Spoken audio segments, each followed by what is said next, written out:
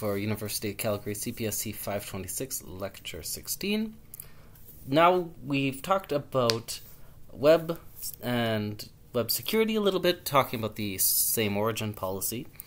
Um, now we're going to look at attacks on web apps. So a number of different uh, vulnerabilities, risks, things to be worried about when producing some sort of web application. Or so now we're thinking in terms of the server side. Um, how to protect the server code that is that is actually enabling the web app. So, again, a lot of the design decisions for HTTP come from its original purpose, which was for physicists to share papers amongst themselves. It was not designed for what it evolved into, and um, now we see that a lot of software is being implemented just as a web based server. It's no longer the case that you install some software on your computer and then run the software to have access to some services. Frequently, many different things that we might want to use on our computers are all delivered to us via the web. So we don't even need to install anything ahead of time. We simply go to a website, and this website provides all of the code and server side implementation necessary in order for us to do all sorts of things like banking, shopping, government, bill payments, tax preparations, doing emails, uh, inter- uh, interacting with social networks, and so forth. It's no longer the case that we have different programs for all these things. We have one program, a web browser, and that web browser allows us to do a whole slew of different types of uh, software, as because it's all delivered as a web-based service. And um, it's quite common as well to simply use HTML or uh, use HTTP to monitor your own simple program. So if you write a program and you want to see what it's doing, or you want to check some aspects of it out, or you want to control it in some way, it's tedious to write an entire graphical user interface. It's not very usable to have it only working on the console. And so, a, a very simple and easy to achieve compromise is to simply include an uh, HTTP server. So you include a library that runs an HTTP server, and that has basically no cost. And then you can, in a sense, log into your program by going to localhost port, with the port being that which you're running your HTTP server on, and then whatever code you write to render the web page will then be shown to you. So if you want to have a bunch of buttons to do different things, or you want to output some diagnostics, or you want to output the values of certain variables, or whatever information you might want to present to yourself, or whatever information or whatever you may want to control, you can do it very easily and much, much very easily compared to writing your own GUI and much more pleasant than doing it all on the console. So the web is has many many uses. Now, we've talked about the code running on the client, which is the JavaScript, and as well we have for web apps the code running on the server. So this could be any number of languages. You can have it written in C++ or C, and or there might be an SQL database. PHP is a is a popular one as well. There's all sorts of web technologies that can be running on the server side. The point is that somehow information goes from the web server to the actual program that does stuff, and this program therefore would interpret a HTTP request as inputs to a program and then run it. And that means that it really can just do whatever it wants. It's just taking what the client provides in the form of a GET request and running it as a program. And it can be a simple, straightforward thing that doesn't involve any extra languages, or it can be basically turned into inputs for a full C program that does any number of different things. So, from the client side, all they really still do are things like get and post requests. So you can say uh, do a get request on slash post with a bunch of arguments, and we saw how HTTP handles arguments, and you can provide whatever name or whatever uh, key and values you want to pass into as input for the web request. Now, a key is that um, there could be vulnerabilities if these values are interpreted or assumed to have a certain structure but don't. And um, as well, there can be vulnerabilities if somebody else can produce one of these requests. Because imagine that if, for instance, one of these GET requests that caused a program to run had a real world event trigger as a consequence, in a sense, had a side effect, then that side effect could be achieved by anyone, by an Eve who wanted to, for instance, have that occur, would be able to issue the same sort of request and then trigger that event to occur. For instance, imagine delete account or something like that, cause the user's account to be deleted. Well, we would want to make sure that we cannot uh, we cannot inadvertently do that. So there are three classes of web vulnerabilities, um, or at least there's three major uh, significant classes, and these are the ones that we're going to be talking about in the, the remaining lectures for this course. The first is called cross-site request forgery, and XSRF, also known as CSRF. This is where a bad website forces the user's browser to send a request to a good website. So a bad website makes the user's browser trigger some GET request to a good website, and a problem here is that the user's browser will automatically include their cookie. This is by design. So when a user is going to visit goes to a good website, their cookie will be attached. And if they're using a cookie for authentication, if it's a, the cookie stores a magic number that only the user would know, then the cross-site request forgery will allow the the will have the, the browser ink staples on the cookie and passes it along. And note that they would otherwise have no ability to obtain this cookie. So the reason that cross-site request forgery is a threat is because the user has is the one making the request, but in a, they're sort of tricked or their their browser is tricked into making the request against the user's own desires. Then there is code injection.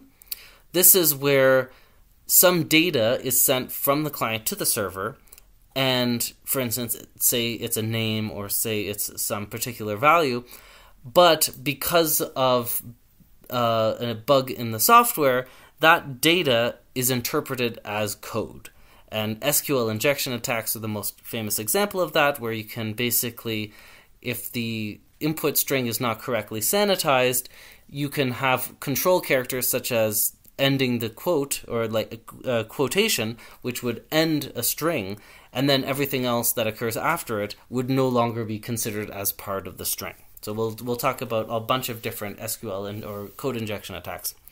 And then the final one is called cross-site scripting so or XSS attacks. So this is where malicious code is injected into a trusted context. In, the, in this case, malicious data is presented by an honest website and is interpreted as code by the user's browser. And so there's a number of different ways that this can occur in practice, but uh, as sort of the metaphor to think about here is, for instance, imagine on a forum where people can provide any posts, someone posts JavaScript, and when someone else loads your post, you're given this JavaScript and you run it because you're interpreting their, their text their, uh, as code and you're running it. And the reason that this is a problem is because now the code, this this code that is being presented to the to the to the uh, by the honest website, is going to run with the same origin as this website. When anyone can write a post and an honest website just provides these posts out to people, well, then that means that anyone can inject information into the context of this website. And if it's the case that they can inject JavaScript code that then gets run by other users as JavaScript code, it means that they have been able to violate this sense of a same origin policy by allowing JavaScript code to be presented by a, a trusted website that isn't actually been uh, authorized to be there by the trusted website. So an important aspect to a lot of these attacks is again this cookie based authentication so i want to revisit this again. The the reason that this is so crucial is because so much of the web is security on the web is based on the randomness of these cookies that users present to the server every time. And if a an attacker is able to obtain the cookie of a client for a website, they are then able to impersonate them. They're able to log in as them. If they were logged in, if they had an ongoing login session, they could continue it. They could basically act as as the as the uh, sending emails, or if they're logged into a bank, uh, then do uh, financial transactions. And the the the thing to keep in mind is if you have a laptop logged into some services and you shut your laptop and you go to a different a different place, a cafe, and you log in there, you don't need to re-log in typically to all of the services you've already been logged into. This is despite the fact that now your IP address has changed and you're contacting from a different location. So it is the case that it that these cookies are the thing that gives you security. It's not looking at the IP address of where you're coming from, or if you move your computer to a different room or to a different building, you're going to have a different. Uh, you may have a different IP address. Uh, these are not factors in this authentication model. It works as follows: the browser sends to the server a, a post request, for example, um, to log in. Um, and then the browser or the server sends back to the browser a cookie and it has some particular number. And then later, whenever the browser wants to obtain another website from the server, this cookie, this magic number is automatically sent along. And if the numbers match, that means that it's the user who did the login step earlier. This is like the Kerberos ticket that means that the user has previously authenticated, is now holding an authenticator, providing that authenticator to the server every time it's doing any interaction so that they don't have to present their password every time they want to do anything this cookie just sits in their browser and is the magic number that refers to the previous authentication that has occurred.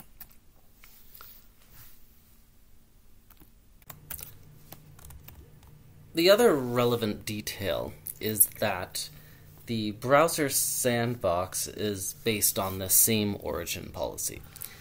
So the interesting thing about the same origin policy is that it doesn't apply to writes, but it rather applies to reads. So if you think of, for instance, access control for uh, a file system, we, in a sense, elevate writes as being more significant, more invasive permission than reads because writes can change data and, and cause damage. And similarly, if you look at a permission system for the, for instance, Android mobile phone, you have a write to the file system is implies that you can read to it, or write to the calendar implies that you can read to it. So the same origin policy, in contrast, however, doesn't place prohibitions against writing across origins, but it does place prohibitions against reading the results that come back. So active content, like a script, can cause web traffic to be sent anywhere. It can cause the user's browser to go out and get some data from a from a, across sites uh, to a different origin. It can have clients issue requests for content. The thing is, it just can't actually read what the response is. So it can cause the client to do web traffic and the same origin policy prevents them from seeing what the result is. So they can, for instance, have the user's um, Facebook status page retrieved and placed on as an iframe inside of their browser, but they cannot actually cause themselves to learn what that is. They can't read what was then delivered to by Facebook and have it sent off back to the evil website that caused it to load. This is the same origin policy in action, working as intended. So the idea is that it can cause remote content to load and be rendered onto the user's screen, but there is strict prohibitions against reading what that result is. Now, importantly, as particularly as it applies to cookie authentication, when that request is issued by the browser, when that request goes out, the browser automatically adds the user's cookies to the request. Again, this is the internet working as intended. Cookies are applied automatically, added to all web requests if there is a relevant cookie to add. So, a evil site can cause a user to go out and retrieve some content from a third party from outside of the same origin and that user will automatically add their cookie that is their authenticator the, the entity that proves that they've already authenticated with that service and thereby get tailored information uh, particular to them and the security mechanism that prevents an evil site from learning this is the same origin policy prohibiting the reads. However, this is exactly the issue with cross site request forgery, which is what happens if there are side effects that occur simply by virtue of a request. That is, if a request is issued, can there be a an immediate side effect? So, for example, Suppose that a user logs into their bank, bank.com, and they don't sign off. So they they remain logged in. The session cookie remains in a in the browser state. The session cookie will automatically be appended to any query that goes to that bank.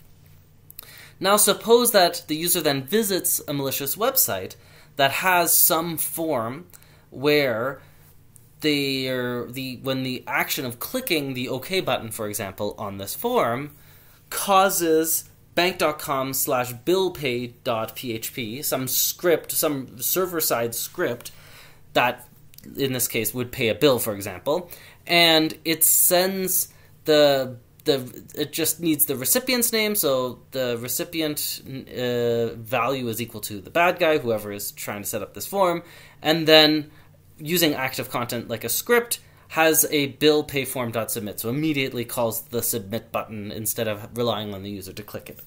So now, what will happen is the user, upon loading this page, will run the script, which will click the button, which will have the user load bank.com slash bill pay, passing in bad guy as a recipient for some bill to be paid.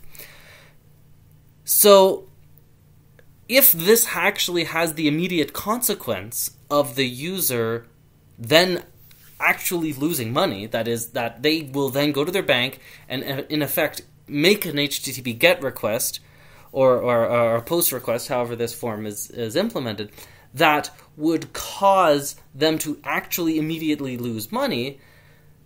Then it doesn't matter that there was authentication and that they logged in, uh, or and they they were entered their password or something like that, or the same origin policy. None of these things will protect the user because what will end up happening is the, the consequence of paying the bill will just be triggered automatically. That this remote bad site is causing the user's bank to issue a transaction which the user appends their own authenticator to, and the result is an actual harm, an actual loss of money uh, to the user. And in this case, the problem is in fact with the bank. It is the bank's web, uh, the website of the banks. They have to be certain that any transaction that involves side effects, that involves actual consequences, actually came from the user and not from a cross-site request forgery. So, how do they actually prevent this from happening? Well, you may have seen in some cases that you don't simply have side effects trigger immediately, but you actually have to click through a series of buttons to confirm transactions. This helps usability as well, so that users can actually, when using the site properly, have an opportunity to revisit and review these things. But what can happen even still is if the bad website can anticipate the series of buttons that they'll have to press, the series of GET requests or POST requests that they'll have to make in order to simulate the user actually going and clicking all these buttons, then the evil site will be able to do that again as well. And it's important to note that the user can will always add their authenticator. So the fact that the cookie is a random number doesn't protect the user. What ends up happening is that the evil website, the one doing this cross-site request forgery, they never learn the cookie. They they're not able to start impostering as the user. They're not able to actually issue their own requests from themselves. But what they're doing is they're tricking the user into making requests that the user is not actually interested in making. And this sort of thing affects anything that has consequences. So any web service that you use where there's con where there are consequences to button presses or such will be affected. This is a concern for all such things. So, Amazon purchasing items, changing settings on Netflix, all of these websites that have consequences to inter- their interactions are at risk for these cross site request forgeries. So, in short, a cross site request forgery allows one site, an evil site, to issue requests to, an, to another site, the victim site, or the bank in the previous example, where the user adds their authenticators and makes it look as though it came directly from the user when in fact it did not. And unfortunately, this is just the web working as intended because we have the we do allow scripts to issue requests across sites. We just don't allow them to read the results. So the same origin policy does not prevent scripts from sending queries to other sites. It just prevents them from actually hearing back what they say. And of course, uh, uh, just the rhetorical question is how often do you logged into any sites where you may have consequences to such a thing? So how often do you remain logged into your email, your, in your banking site? You may think that the more important something is, or the more secure, like a bank, you tend to log out of more promptly, whereas other things like email, you just remain logged in uh, all all of the time. And of course, this is mainly an issue when you actually visit other sites at the same time, which is also a typical use case uh, for the internet. And as well, we don't want a world where every time you want to do banking, you have to, in effect, use a different computer or turn off your browser and close everything and then open only the one browser and use different uh, and, and never allow any websites to be loaded in parallel. This is not how we actually want the web to work because frequently we want to be able to do many things at once. We're multitasking. We have lots of things happening in uh, in parallel, and we just want the web to work without the users having to bear this additional burden of knowing uh, to of having to close everything just to do something sensitive. Another example. Um, this is an attack known as drive-by pharming. The idea here is that a victim would visit a website. So, for instance, a, a victim is somehow asked to click a link, so they click a link, and what ends up happening is their router's DNS changes.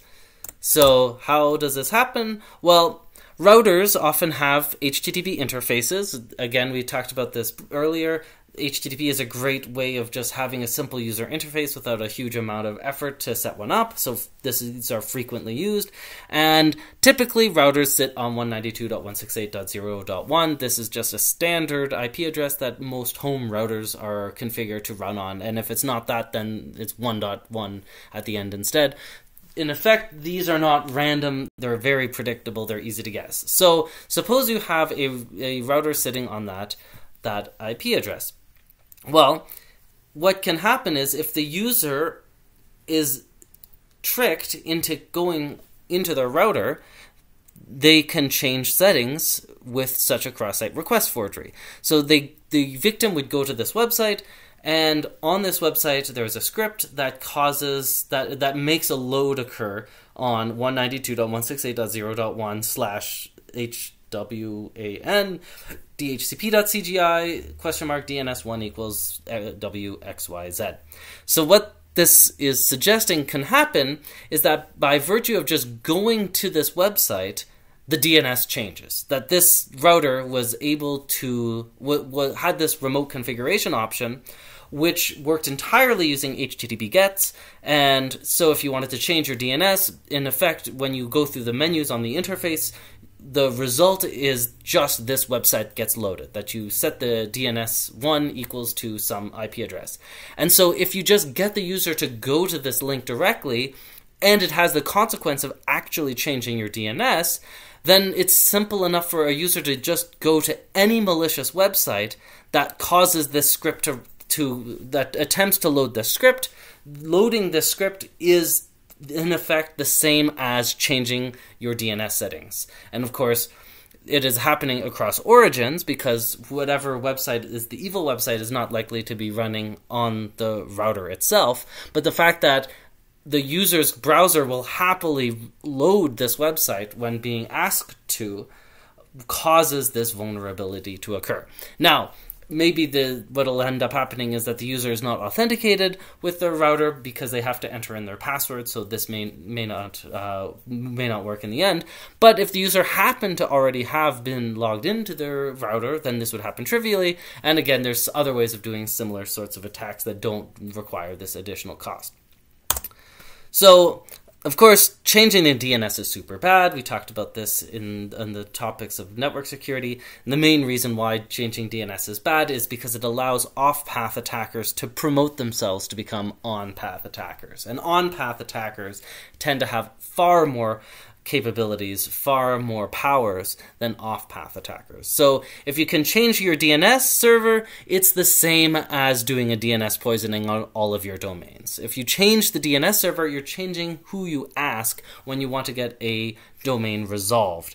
And if you change your DNS server and you start asking the bad guy whenever you want your DNS resolved, the bad guy can tell you any answer the bad guy wants. And what that would mean is that all of your requests, for example, go through the bad guy. He, the bad guy claims that all of the websites that correspond to places you want to go are actually his IP address.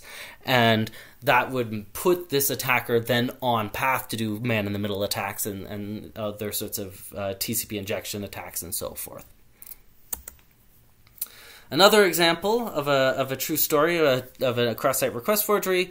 So there was a, a victim computer had a Java-based stock ticker on his broker's website, and this had cookie access. So this was back in the days when Java was a thing on the internet.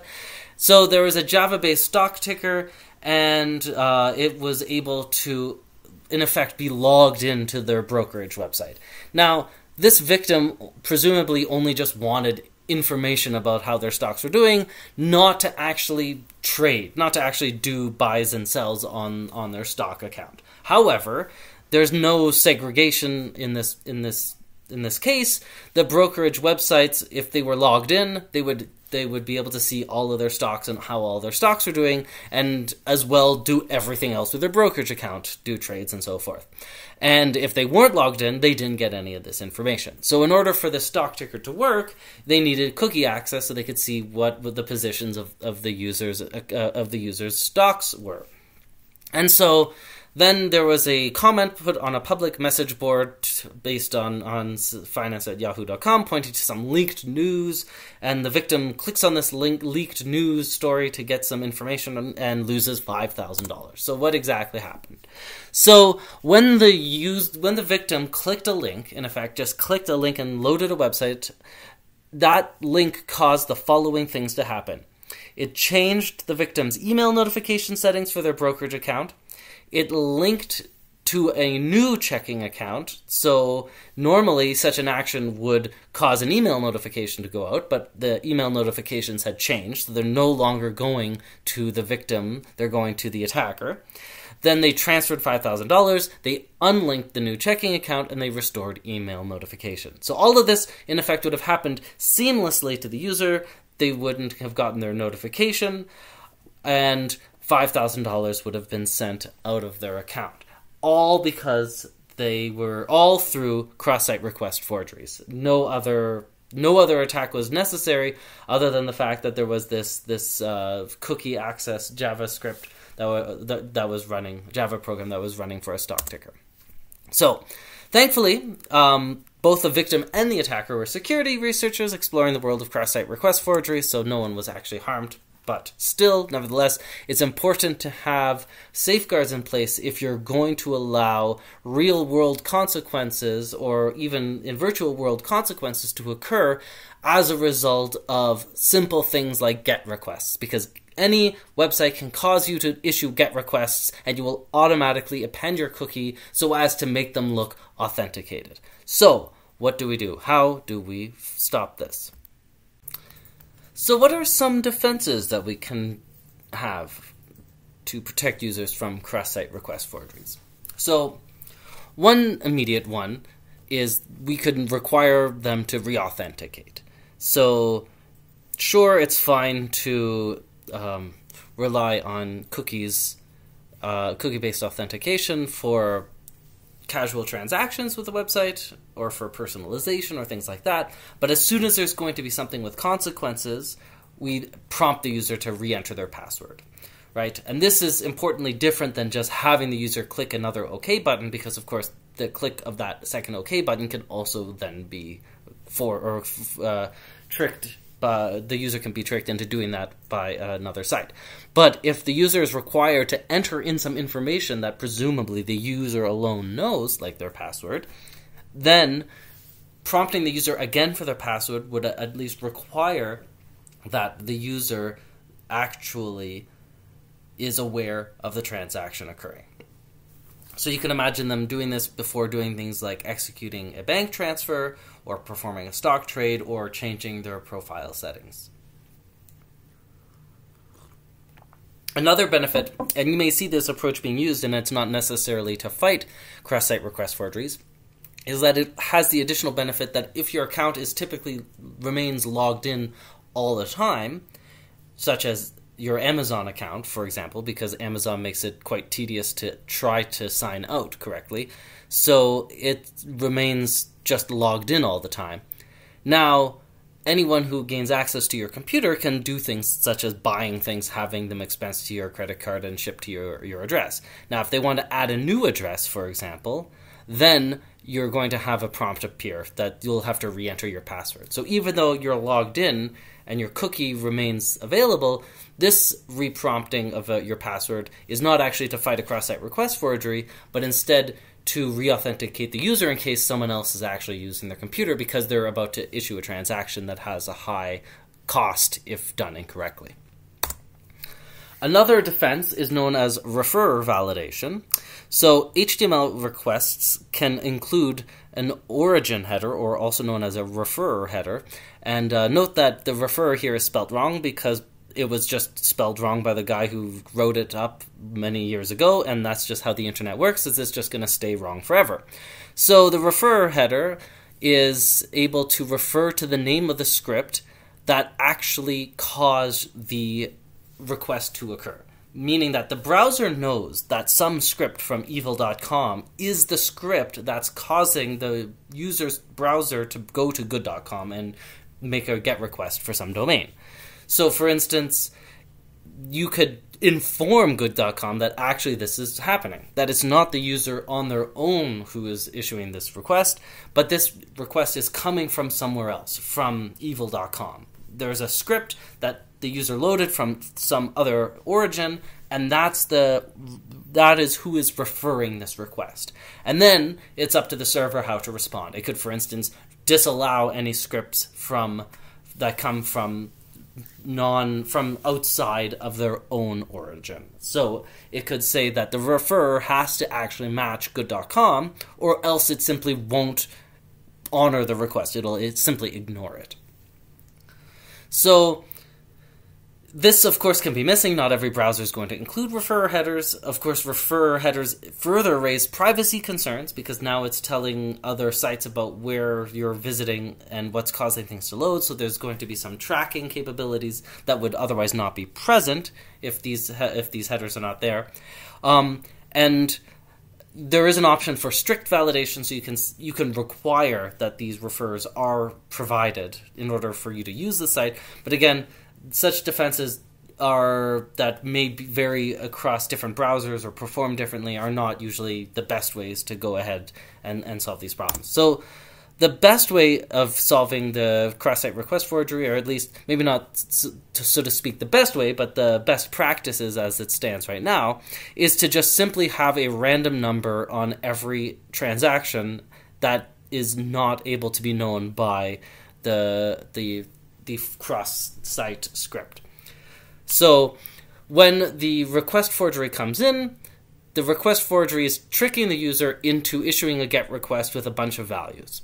And these values might be what they're trying to do, for instance, send some amount of money to some person.